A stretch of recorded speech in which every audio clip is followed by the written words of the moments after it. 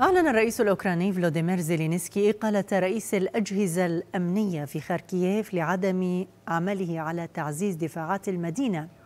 جاء ذلك في كلمة له عقب زيارته خاركييف وخروجه للمرة الأولى من كييف منذ الهجوم الروسي في نهاية فبراير الماضي.